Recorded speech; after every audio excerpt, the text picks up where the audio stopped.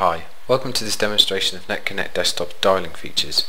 NetConnect Desktop out of the box offers extra dialing features from the NetConnect Desktop window.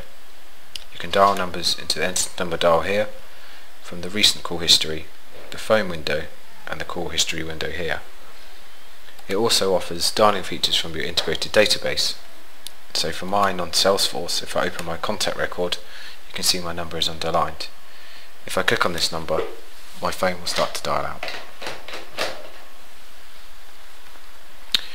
From a standard internet page, such as yell.com, I can also dial numbers.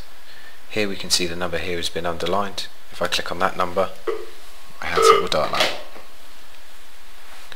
Also, from other Microsoft applications we can dial. From Microsoft Word, we can see a telephone number here.